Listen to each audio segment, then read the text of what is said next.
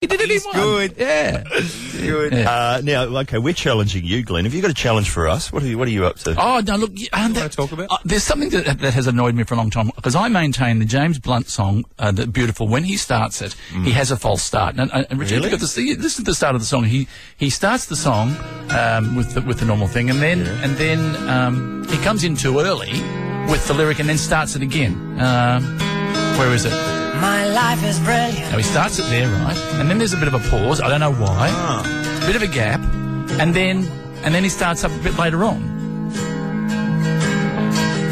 My life is So There that's it a is. false start. Now I've always maintained what I, I, I said that is a mistake. Mm. It does sound like one. Things come across my desk, Tony, Do they? what? What's happened? and I happened to come across the production tapes of that very single. Oh, Is that right? Why Yeah. have we not heard this before? Yeah, have a listen to what actually happened on day. Okay, James, in your own time with the lyrics. My life's brilliant.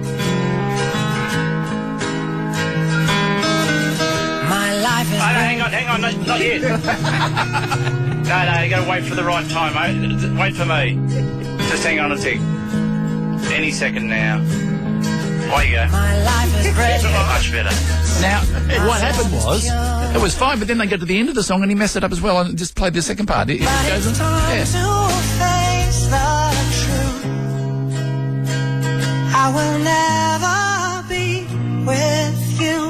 I'll never be with me, you fucking idiot.